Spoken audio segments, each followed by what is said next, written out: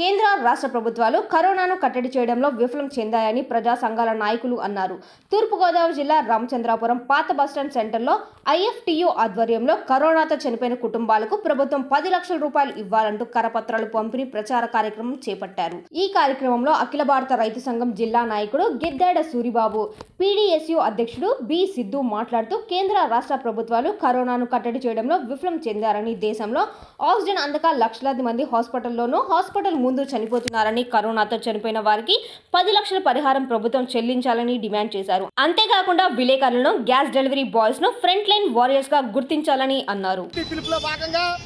Corona బాధితులను ఆదుకోవాలని చనిపోయిన వారికి పది లక్షల రూపాయలు ఎక్స్రేషా చెల్లించాలని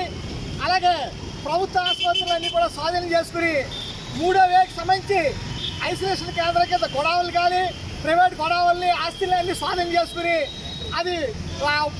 మూడో వేకి సంబంధించి రెడీగా ఉంచాలని దేశంలో ఉన్నటువంటి ప్రజలందరికీ కూడా ఉచితంగా వ్యాక్సిన్ ఇవ్వాలని తెల్ల రేషన్ కార్డు ఉన్నటువంటి ప్రతి ఒక్కరికి కూడా నెలకి పదివేల రూపాయలు ఇవ్వాలని నిత్యావసర వస్తువులు ఉచితంగా ఇవ్వాలని అలాగే గ్రామీణ ఉపాధి హామీ కూలీలు ఈ కరోనా కష్టకాలంలో పని లేకుండా చేసుకోవడానికి పని లేకుండా తింటానికి తిండి లేకుండా అనేక ఇబ్బందులు పడి ఆత్మహత్యలు చేసుకుని వాళ్ళ కూలీలుగా మారుతా ఉన్నారు. వాళ్ళకి రెండు వందల రోజుల రూపాయలు పని రెండు వందల రోజులు పని దినాలు కల్పించాలని ప్రభుత్వం తక్షణ చర్యలు తీసుకోవాలని చెప్పేసి